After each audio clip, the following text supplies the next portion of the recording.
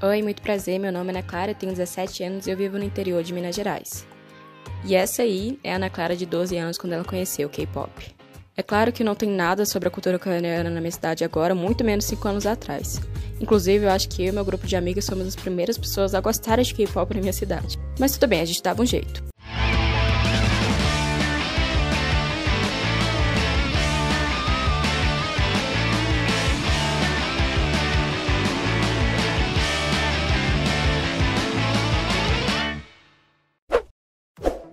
Olá, Ana Clara, tudo bem? Oi, tudo e você? Bem também. Quer dizer que você é a nossa maquinê do No Meu Interior Coreia.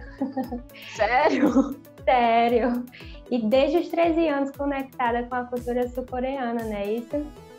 É, faz uns cinco anos. Eu estava no sétimo ano, agora eu tô no último ano da escola, então acabou que o K-pop tá aí comigo na minha adolescência inteira. E conta pra gente o que você já fez mais para estar tá cada vez mais perto da cultura sul-coreana. Quando eu comecei a gostar de K-pop na minha cidade não tinha nada, nada mesmo. Hoje em dia até tem algumas coisas, porque outras pessoas descobriram a cultura coreana. Mas na época, como não tinha nada, eu e as minhas amigas, foi, eram elas que me apresentaram o K-pop, a gente dava um jeito, a gente fazia miojo, colocava pimenta mesmo, e aí a gente botava... do miojo.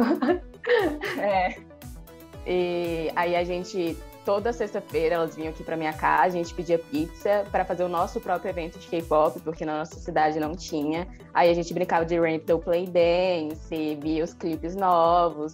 Então foi desse jeito que a gente conseguiu ficar mais próxima. E também, claro, tinha as séries coreanas, que a gente começou a ver depois de um tempo, que a gente descobriu elas. Então foi mais ou menos assim que a gente fez durante esses anos para ficar próximo. Inclusive, você conseguiu viajar e provar um pouco mais da cultura coreana lá em São Paulo, não foi isso? Foi, eu troquei a minha festa de 15 anos para poder ir no show do BTS. Melhor troca.